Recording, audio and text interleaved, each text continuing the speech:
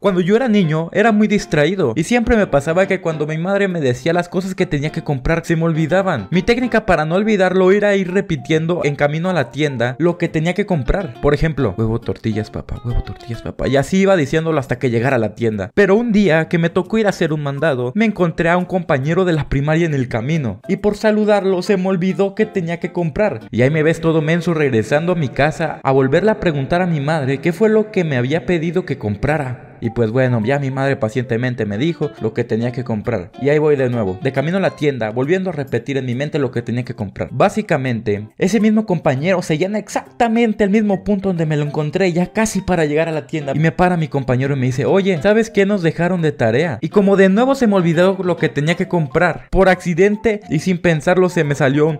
Madre, desde ese entonces ese compañero no me volvió a hablar.